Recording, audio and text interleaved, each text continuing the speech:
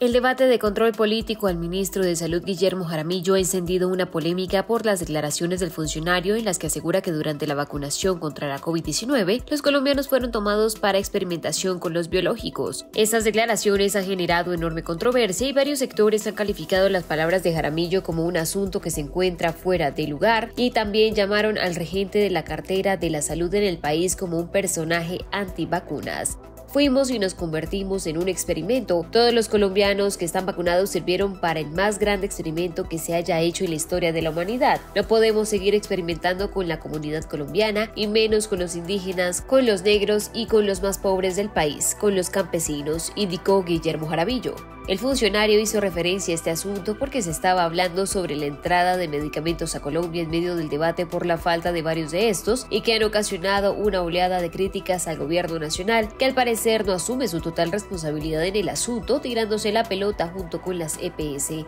Aramillo considera que existen medicamentos que no han sido probados totalmente en el mundo y que podrían llegar a Colombia. Por eso criticó la laxitud de algunos entes en el mundo como la FDA de los Estados Unidos y la Agencia Europea de Medicamentos. Esta intervención del funcionario tolimense que trató como conejillos de indias a los colombianos porque para él las vacunas diferentes a Sinovac contienen una tecnología que apenas se puso a prueba durante la época de la pandemia. El presidente Gustavo Petro, como es habitual en su cuenta de la red X, dio sus impresiones sobre el asunto y calificó como una calumnia que se considere a Guillermo como una antivacuna. Guillermo Alfonso fue el secretario de Salud de Bogotá que adelantó las más fuertes campañas de vacunación para la protección vital de la infancia, logró la gratuidad de muchas de las vacunas, escribió Gustavo Petro en la red X. El exministro de Salud durante la pandemia, Fernando Ruiz, y la Asociación de Epidemiología de Colombia se manifestaron en contra de las palabras de Guillermo porque consideran que no tienen una evidencia científica y que además desconocen que la aplicación de los biológicos contra las COVID-19 salvaron muchas vidas en el país haberse aplicado a la población.